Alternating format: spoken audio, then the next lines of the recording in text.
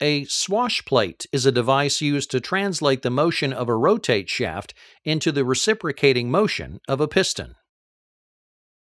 Swash plate piston pumps have a rotating shaft connected to a cylinder block containing pistons, which are pressed against a stationary swash plate that sits at an angle to the cylinder.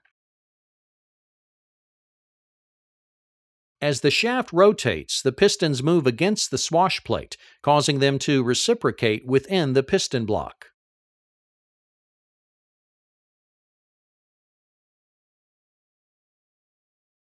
The pistons create a vacuum that forces fluid in during half a revolution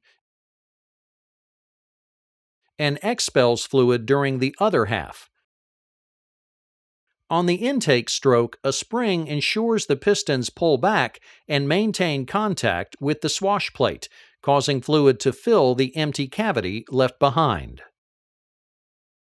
On the discharge stroke, the angle of the swash plate forces the pistons back inside the piston block and discharges the fluid. The greater the slant on the swash plate, the further the pump pistons move and the more fluid they transfer. Piston pumps, in general, are manufactured with closer internal fits than other pumps.